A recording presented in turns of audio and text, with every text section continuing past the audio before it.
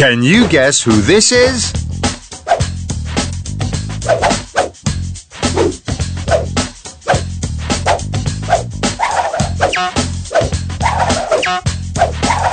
Keep guessing.